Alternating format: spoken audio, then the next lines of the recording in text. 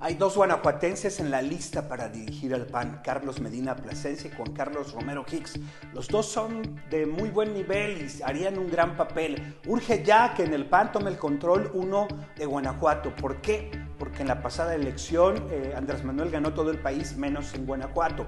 ¿Por qué? Porque el PAN tiene 27 años ganando en Guanajuato y no ha perdido y sus gobiernos son relativamente buenos. Por lo mismo, ya el PAN tiene que tomar la decisión. Nunca hemos tenido un dirigente nacional del PAN. Estuvo Luis Felipe Bravo Mena, pero él no es de Guanajuato, él es de la Ciudad de México. Ahora sí, ahora sí se necesita un guanajuatense Medina o Juan Carlos Romero. Ahora sí, señores panistas, ya tomen la decisión.